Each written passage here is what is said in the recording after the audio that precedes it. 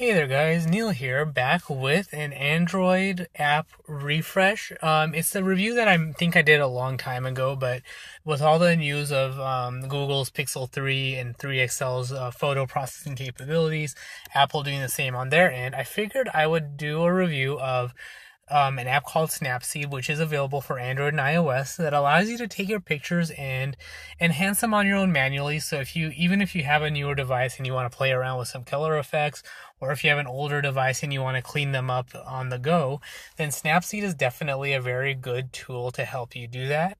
So um, when you open up Snapseed, you get a layout that looks like this. The settings menu is actually pretty straightforward and simple. You get a, um, these options so you can enable or disable a dark theme. So depending on what kind of um, look you want, you can turn it on or off. I keep it off just because that's personal preference. Um, you can have it automatically resize the picture after you save it. So if you want to keep the original size or make it smaller to save space, then or keep it different, even keep it different from the original image, then that is also an option. And then you can set the format quality. So I just have it set to PNG, but you can set it to JPEG as well and reduce the quality a little bit. So if you're on low, if you are low on space or quality is not too big of an issue, then you can reduce the file size that way as well. Or if you're on the go and you want to share a smaller file, then that is also an option. So once you've set up the files for how you want it, um, editing is pretty straightforward. So for me, I will sometimes use Snapseed to um, adjust the HDR effects or tune the image up and down a little bit. But let's say you're on an older device or a device that doesn't have some of the uh, processing, photo processing capabilities of like the Pixel 3, 3XL, the iPhone 10X or the 10X Max or any one of those, then here's some tools that I use um, that I like just to touch up images, make them look a little bit better. So this is a picture that I took um, the the morning I record I'm recording this video, and it's just I just use my stock camera app. It doesn't I did not use HDR mode, bokeh, nothing like that. I just pulled out my camera, took a picture, and uh, left it at that. So one of the easiest tools to use is the tune image uh, capability. So you have the ability to do things like adjust brightness, contrast, saturation, and things like that. Um, so you can, for example, if you want to have black or blacks or uh, lighter blacks, um, or just the um, contrast or anything like that to um, adjust various facial filters like that, you can do that. Um, if you want to adjust the ambience a little bit, then you can um, do things like that and adjust that way. Um, Snapseed has, at least on the Android side, has the ability to do an auto tune of your image. So um, so this is the original image, and let's say I want to see kind of what the image would look like using Google's algorithms. I can touch the magic wand, and um, it'll automatically adjust. It didn't really need to do too much. You can drag your finger up and down just to see if it did anything. So adjusted the brightness a little bit, contrast, shadows, and things like that. At the top right of the screen, you see this little um, rectangle with a line through. So if you touch that, you can see your original um, image. If you let it go, you'll see the um, um, adjustment adjusted image if and to see if there's any change. There's not too much going on, so there's no real need to use it.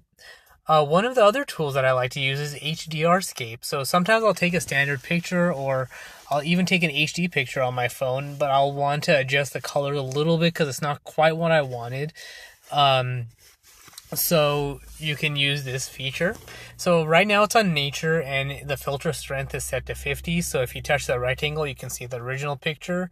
Let it go, you can see it enhance some of the colors. Um, if you drag your finger from right to left or left to right, you can adjust the strength of the image. So zero all the way up to 100. Um, you'll see how much it adjusts the picture. Um, and if you find that it doesn't quite do what you want, it also has the ability for different things. So if you have um, people in your picture, then the, the filter works better. So it's a little bit of a softer application. So um, it looks a little bit better. So sometimes even when there's no people, it works out um, just as well. So you'll see that the um, sky becomes a little bit darker, but not as dark as if you use the nature filter. Um, you can use fine if you want a um, stricter thing. You can do strong if you want a stronger HDR effect. And then from here, you can adjust the filter strength, brightness, and saturation if you want. So um, it makes your picture stand out a little bit more. It's not pure HDR, but um, using Google's algorithms, it will help the color stand out a little bit more than just or by ju- than by just using your normal picture. Um, and then among other tools, one other uh, filter that I do use a little or probably next often is the healing tool. So let's say you took a picture and you see found that there's something in the picture that you didn't like, like a street light or a person, or just a general object, and you want to remove it from the picture. Then you can use a healing tool. So, for example, um, there's nothing that overtly stands out for my picture, but if you zoom in a little bit, you see this little generator in the um, corner. So if you um, highlight the um, generator like that, it will erase it. This does get a little bit tricky because it's not a pure um, erasing tool or a blurring tool. So you do it might take a couple of times to um, get it proper. So it all depends on how you um, adjust it. So you can even zoom out a little bit and touch it once, and it'll uh, do a quick um, erasing like that. So you can even um, do uh, different adjustments like that. So it'll um, do a more broader stroke so you don't have to touch the um, picture as many times. So once you get the hang of it, you'll find, um, or you'll be able to um, erase it a little bit more smoothly. So with that, I was able to get rid of it a little bit, and then blurring it out a little bit will remove it even more. And then when you zoom out of the picture, you don't notice it as much, except for a little bit of residue. So um, if you do uh, spend a little bit more time, you can erase more of it. So once you zoom out, you can see that it's not even there. And then, of course, touching the rectangle, you'll be able to see what was there before. Let go, and now it's disappeared. So now it's less generator and more picture. So um, as you get used to it, you'll see um, kind of what um, happens there. And even you can even try doing a um, a, a broad overview of what's going on in the picture. So if you want to um, remove more objects, then um, that is definitely a way to go. So that's a nifty tool. And then there's other things like um, drama that's available um, if you want to um, do uh, various effects that way, and it has various automatic filters. So if you want to make your make it your pictures look dramatic, then you can do that, and you can adjust the filter strength as well. Um, saturation also comes into effect here. So I have, sometimes when I want to be overly dramatic, I'll set it all the way for the filter strength and saturation all the way up to 100 just to make that difference in image. Um, but that also has this um, uh, moment as well. Um, and then from here, it also has, you can use tools like uh, black and white if you want to do that, or if you want to, for example, um, make certain parts stand out and other parts not.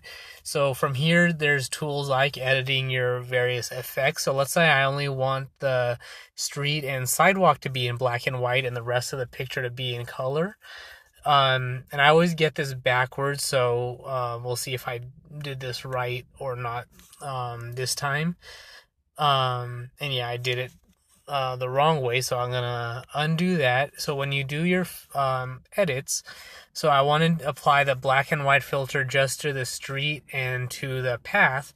So I've done the um, broad part of the street and the path, and then I'm gonna do um, just the uh, path in the picture. So now when I hit the check mark, um, now the, the street and sidewalk is in black and white, and the rest of the um, picture is in color. And if you even want to go as far as making um, the generator that I tried to erase earlier in black and white as well, you can do that as well. So it's not too much difference because the sidewalk is kind of gray and the street is black.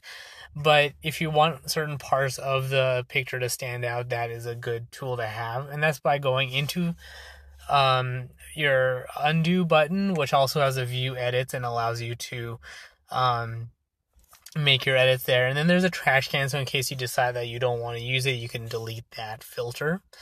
And then you can, of course, do things like lens blur if you want to um, focus on certain parts of the picture and um, blur out other parts, kind of like the portrait mode. Um, you have a manual version there. If you want to add some text, um, you can add text like sunrise and um, move that to um, different parts of your image and do things like that. So Snapseed is a pretty nifty tool for editing your pictures and definitely worth checking out if you um, have an older device and want to um, edit your photos or even a newer device if you want to apply different effects to it on the go. And if you're like me and you don't have um, professional or even somewhat amateur Photoshop experience, then Snapseed is a very easy tool that I kind of prefer and um, like to use when I'm sharing my pictures. Um, so that's all there is for that. So Snapseed is available for Android and iOS uh, for free. It's um, provided by Google, um, which and they bought out. I believe the developers were Nix LLC or something like that, Nix. But it's available for the two top major platforms, so you can edit on the go. And if you use, for example, Google Photos to back up your images, if you can back up your Snapseed folder, folder so your um, edits get backed up easily as well. And then it makes it easy to easily um, share the images as well if you want to share your edited edited images instead of your originals. Um, but that's all there is for that. So if you want to check out this review or other reviews, be sure to subscribe to the YouTube channel at uh, youtube.com slash pateln01. The website is pateln01.com. Um, if you want to help, if you want to help support the show, if you want to get this review early and in your podcast kind of choice and all of that good stuff, be sure to support the show on Patreon at patreon.com slash pateln01. But that is all for this particular episode. Thanks for tuning in, and until next time.